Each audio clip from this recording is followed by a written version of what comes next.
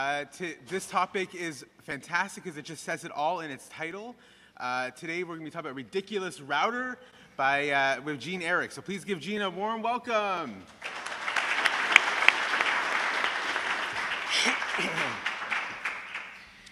Thank you guys. Can you hear me? Okay, cool. You be quiet. All right. So the whole point of this particular talk is to go over OpenWrt and some of the things that maybe you didn't know that it could do. Things have changed a lot over the past few years, and uh, I've been playing with it quite a bit to see some of the really awesome crap you can do with the current hardware and current software that it's got. So, uh, who am I? I'm a hacker.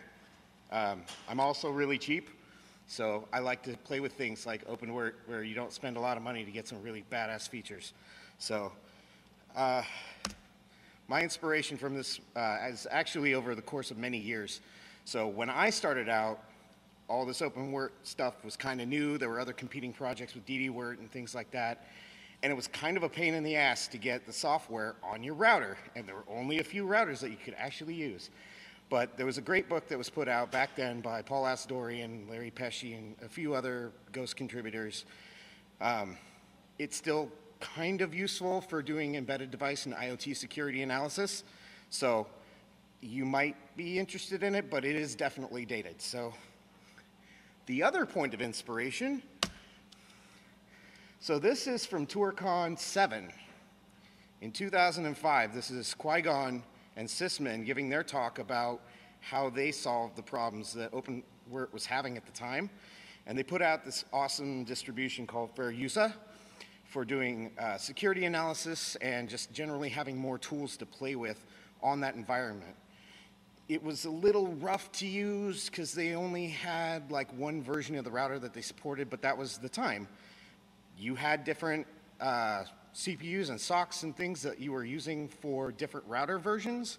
So it was really hard to maintain back then. Not a lot of knowledge. Everything was still pretty black box. But these guys kicked butt and they helped me way back then, and uh, you know the, they contributed to this talk just from teaching me. All right. So why bring up an old topic like open OpenWrt? Well, doesn't everybody know about it? Maybe not so much anymore because people don't really talk about it as much. Um, everybody's got a home router now. I, I, can't think of anybody that doesn't. Even if you don't have broadband, you probably still have a router. So uh, I think it's a good topic to bring back, uh, especially for new people and people that may have forgotten. And the world's changed quite a bit since, uh, since the last time I heard anything about OpenWrt. So I thought maybe we should have a new chat about it. There's way, way cooler stuff going on. And uh, you might not know some of the things you can do with it, but the thing that I like to underline is there's enterprise features on here. People are buying similar gear, that does the same thing and spending way, way, way more money for less support. So in my mind, maybe you should actually consider it for some enterprise uses because it does a lot of stuff. So hardware. This is my hardware. So this is what I actually use for this stuff. And uh, you can see that it's just a normal router. Uh, it's got detachable antennas. It's 802.11c AC. Um, the points for buying this particular one for me were it's got good specs, it's not out of production, um, it's cheap, it's well supported uh, Wi-Fi chips in the SOC. Um, they're not the best Wi-Fi you can possibly get, but it's pretty darn good. Um, it's got USB 3 support. That was really big thing for me. There's a lot of bandwidth that you can use, so it means you got a lot of opportunities to expand on it. And you can really easily add a serial port to this thing to have an actual serial console, which is important when you have an OpenWrt device. Things go wrong, you mess up one configuration, everything goes out the window. Um, or in my case, for one of the routers that I had, you plug in a USB device and suddenly the thing doesn't boot. Mm. It's good to have a console. So, the competition. Uh, so this is a SonicWall device that is also very similar to that uh, WRT that I just showed you, but it's a commercial device meant for enterprise, meant for entry level um, enterprise equipment. Um, This particular one's got almost the same specs. It's an, it's an 802.11 AC thing. It's got removable antennas. It's got a USB port. Um, it's a lot more expensive. Um, 575 was the check that I did yesterday for this hardware on Amazon. And uh, if you want updates for the thing, you got to have a license. Otherwise, you don't get updates. And it's closed source, so there's nothing you can do about it. Um, it's nothing you can really add to it. It does have a CLI. It's not well documented, but you're kind of hosed if you want it to do more than what the company has decided you should do or in a different way. This is just a little side-by-side comparison of these two devices. Um, the WRT device, way faster CPU. They've got the same number of Ethernet ports. Um, USB 3 on the WRT one, USB 2 on the other one. Uh, console port on the enterprise device, no console port out of the box on the WRT, but you can add it really easy. Um, there's more RAM on the enterprise device, but it's already a lot for what you're asking for. 512 for a router is actually a stupidly large amount of RAM, unless you're doing some really odd stuff with it. Uh, and there's also a bit more storage, like double on the WRT device. So a point of note, the enterprise device has a USB port, but it's also almost useless. You can only use it for a few things that the company deems like ideal. Like uh, there's some diagnostic thing that you can use it for. You can plug in a few uh, cellular modems into the USB, but that's kind of it. You can't use it for external storage. So if you want to offshoot all of your logs from this router into an external storage device so you don't kill your router, can't do it. It's not an option. So I actually modified my device to have a uh, serial port on it. Uh, and you can kind of see it in this picture. Uh, all those cords hanging out of the back. I did a pretty clean job installing it because it was so easy to do. Um, but you can see I've got a little adapter for the DB9 to go to RJ45. Um, so it's basically like an enterprise console on the thing.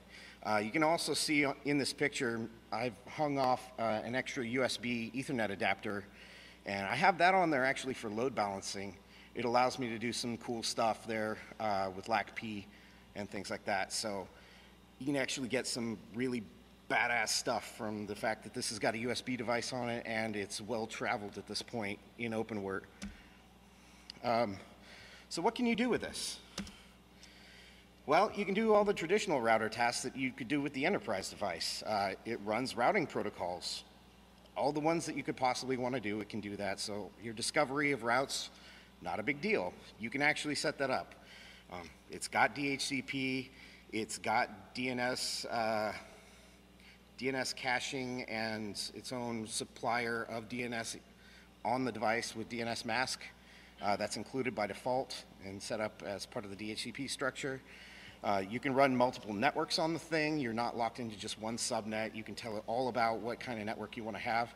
And it supports VLANs right out of the box. And uh, most of the onboard switching equipment that is actually part of the hardware includes support for doing uh, VLAN tagging or not. So you can have untagged VLANs, uh, untagged ports in different VLANs, or you can have tagged ports in multiple VLANs. You can have multiple VLANs on a single port. All of that stuff is supported. So the more advanced stuff that you can got, um, so you can do load balancing with the thing. Like I said, LACP is supported. I actually use it with Cisco gear. I have a LACP balance uh, of two cords into my Cisco switch, and they're just very happy together. Um, you can do VLAN trunking with 802.1q. Again, I do that with my Cisco switch. It's a good thing to have when you're talking about an enterprise network. Then you can have multiple routes, you can have isolation, and you can just do a whole lot more stuff if you can get encapsulation to the switch. Um, 802.1x. It can be a client on the wired stuff, and it's got a bunch of other things it can do with 802.1x and wireless.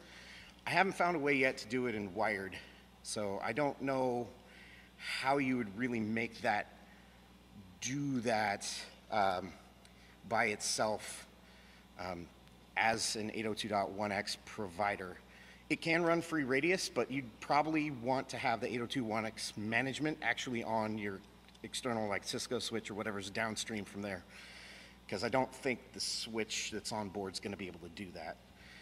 Um, active failover, there are ways that you can actually set it up so that you can have multiple WRT devices that are actively communicating with each other with a virtual IP so that if one of them dies or reboots, or I don't know, you change the configuration that causes a reboot, that's okay. There's another one that's still waiting to go, which is an enterprise feature you kind of have to have in the real world. So, there's lots and lots and lots of wireless stuff that you can do with this thing. Um, it's got basically any capability that you can imagine from uh, hostapd. And one of the things that that includes is uh, 80 megahertz uh, bandwidth for a single channel uh, in 802.11ac, which is really cool when you're talking about streaming big stuff, right? So you don't have to have as much overhead of all the wireless crap to get your data there. It's kind of similar to jumbo frames in like a layer one, layer two world. Um, 802.1x on the Wi-Fi, like I mentioned. So you can do uh, WPA2 Enterprise with PKI from this little thing. So you can have basically a, a big boy access point controller that's doing some crazy auth for you. Um, you can have multiple Wi-Fi networks, so you can have more than one SSID. You can have different SSIDs for the 2.4 and 2.5 on this device. Um, you can have different ones for each VLAN. Your options are endless. So again, that's a, a bigger feature for people that are actually trying to use this in an enterprise context. That's something they might need. Um, I do this myself. I have a guest network and I have a secure network. Guest network is WPA2 with password, and the secure network is PKI. They are on separate VLANs and they can't route to each other. So that's a, a, a thing that I think everybody should look into, but I'm a bit crazy when it comes to security. Um, you can set dynamic VLANs with uh, the radius in 802.1x. So if you see a particular certificate presented to you, you know that user needs to be on VLAN blah. So you can have multiple VLANs on the enterprise, uh, on the en enterprise WPA2 off. Um, one of the things that I found recently that I thought was just awesome is the ability to do CapWAP with this thing. So if you've never heard of that, um, it's basically the idea of you've got lightweight access points all over your network that you can roam from one to the other uh, smoothly because they all have the same configuration and they're sharing some data back to the main controller. Um, CapWAP is the open version of LWAPP that uh, Consortium actually put together. Um, but it took forever for me to actually find an implementation that works. Um, the AC Tube one actually has its own like web interface that you can also load on this device. So you can turn the radio that's on the router into a client to the CapWAP server and then add more access points from there. So you've got a single point where you're managing all your SSIDs, all your credentials, and you can also do monitoring of your clients and things like that from a central point with CapWAP. Um, mesh networks are supported. Um, you can do uh, bridging over wireless with the WDS4 adder, which basically means you can have a bunch of devices behind another Wi-Fi bridge and it doesn't care. It'll authenticate and everybody will be happy. Your clients won't know they're on Wi-Fi. It's a good feature to have.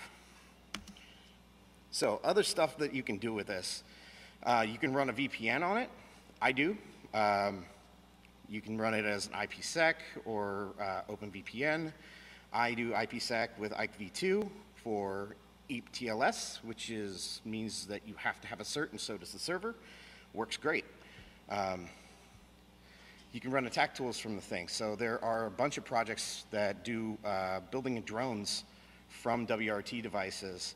Um, there's an old example actually in the Ultimate Hacking Guide of doing a Kismet drone from a WRT device. Uh, there are a bunch of commercial hacking appliances. Uh, this is a good example of one, but there are others. Um, rogue AP detection, IDS, uh, and UPnP. I know it sounds like a stupid thing to do on these routers, but if you're actually using it in your home, gaming, it's, it's a thing you're going to want. So, um, so you can actually use this thing to do all kinds of things on your network. You can run a phone system from it. You can use it as your Active Directory system, kind of, sort of, almost. Um, you can do captive portals, whether they're for your own authentication or for a paid service like with Sputnik or, or what have you. Um, you can set it up to do centralized logging on your network, which is a really cool thing to have. Starts eating up the processor power a little bit, but you can do it.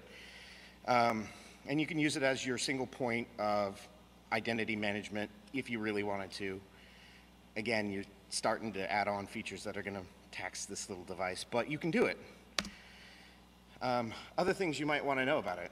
Installation is stupid easy with this particular device. You literally just download the firmware and apply it through the normal UI. And most of the time, that's how it works now.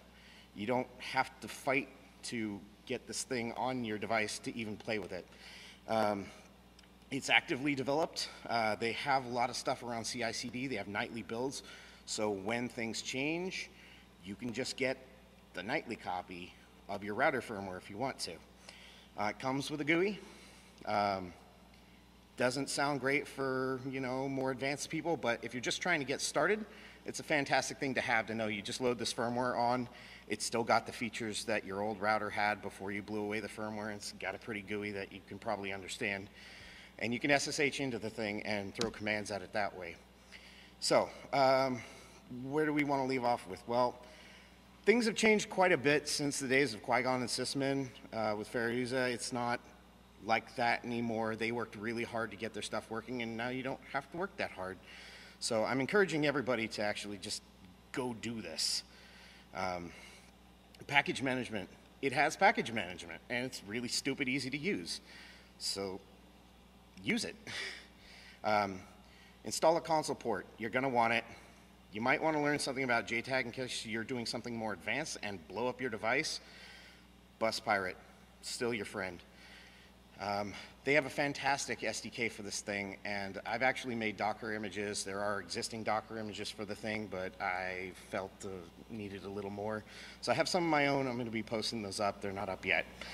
Um, but I've been using it at home because I had to build some kernel modules to make that external USB thing actually work, but I was able to do that. It was really easy. Um,